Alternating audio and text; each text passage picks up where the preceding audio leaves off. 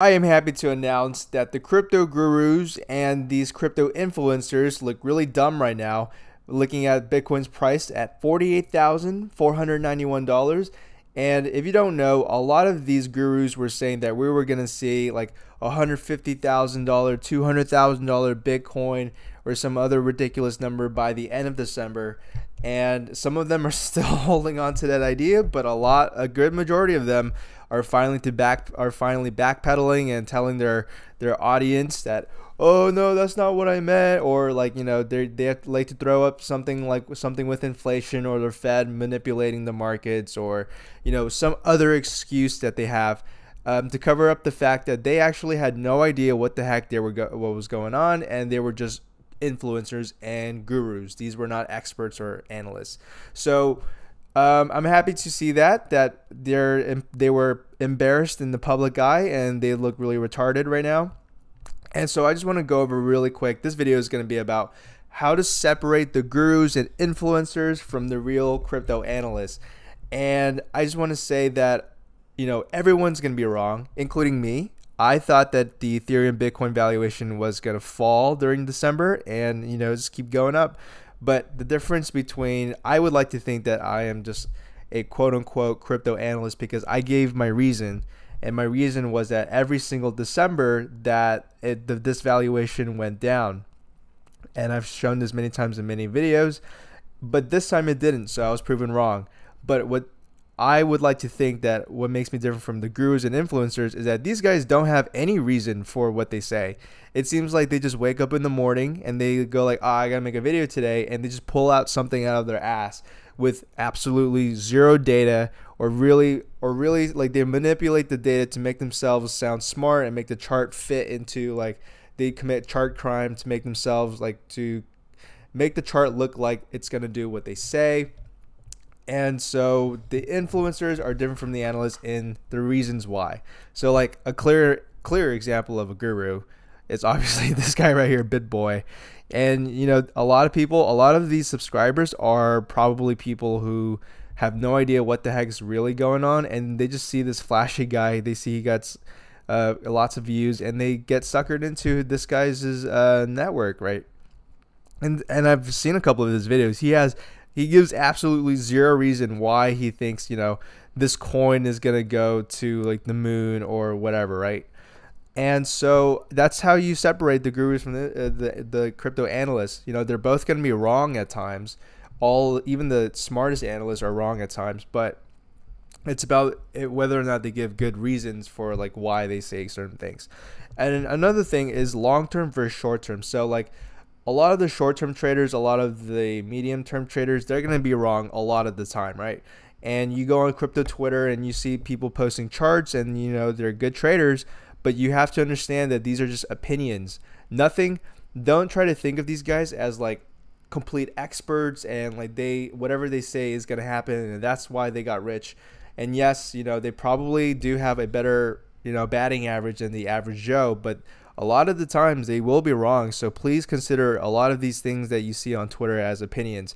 I personally learned this, like it, it really opened my eyes the past couple of weeks about how like 95% of what I see on Twitter is just other people's opinions, and those opinions are likely to be wrong.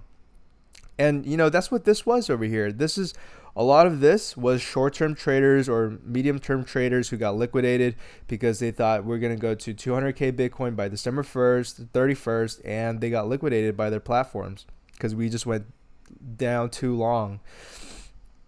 And so uh, the moral of the story that I want to say, or I want to show you guys my approach on how I tackle the market. So like, uh, I remember when I first got it, when I first bought my first crypto, uh, like last year, the first thing I did was go look at the chart and see for myself, right? Without anyone else's opinions or any other like noise, exactly what does the chart look like?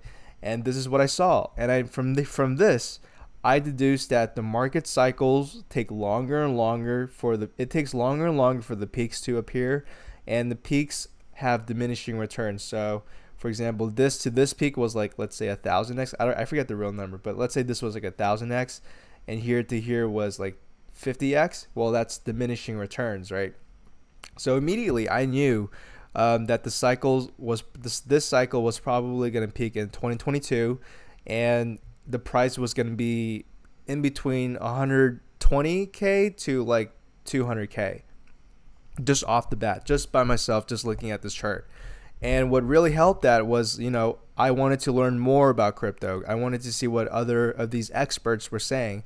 And so I went on YouTube and I went on Twitter, like probably everyone else, and I discovered Benjamin Cowen and he also believes and he's been saying this for a long long time he has a long-term outlook he doesn't he doesn't have like weird hopium videos with these super clickbait thumbnails so i knew he was like a real crypto analyst and not just a guru and he said you know he's been saying june 2022 to like you know late 2022 even 2023 he's been saying that since like i think 2019 he doesn't he doesn't do short term predictions like that. And so I look at that. I'm like, okay, this guy thinks similarly to me, and so I want to follow this guy because we're you know we we're on the same page, and that's how I kind of start building my you know my like my circle of people that I follow.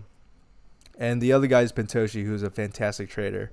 And from there, like I made the mistake of like following more and more and more people because I thought they were correct but the only thing that they got going from them was that we were in the middle of a bull market. So everyone looked like they were correct. Um, and so I stuck to my own guns, looking at my own analysts first. And then I started looking at other people and what other people thought. And I just took it as opinion, not necessarily as a fact. Like, for example, over here, if you don't know, I sold my Bitcoin, all pretty much almost all of my Bitcoin over here, like at 57, 58, before this big uh, pullback, right? And I did that despite the fact all of Twitter was just saying big green candles and bull runs and stuff. And the only people that were saying that this thing was going to fall was Pentoshi from Twitter and Benjamin Cowen on YouTube. And so, you know, I stuck to my guns first and then I looked at the crypto analysts and see what they were saying, and I we agreed, and I was like, okay, that's good. And I saw what the crypto gurus were saying, and they kept saying, oh, Bitcoin up, Bitcoin up, and so I knew that, you know, I knew it was gonna fall, and I was correct.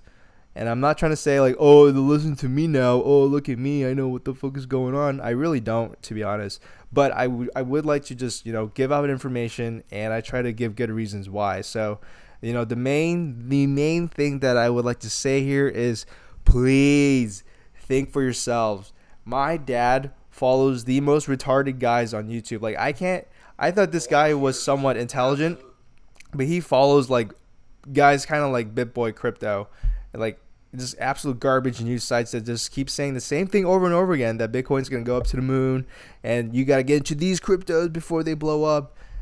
Don't be like that guy. Be more like a crypto analyst and think for yourself first.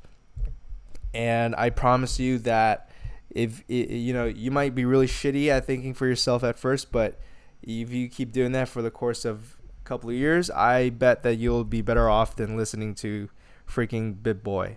So please think for yourself. Please know that a lot of the stuff that you see is just opinions, and a lot of the opinions don't even come from real analysts a lot of the opinions come from gurus, and you definitely don't want to be listening to the gurus.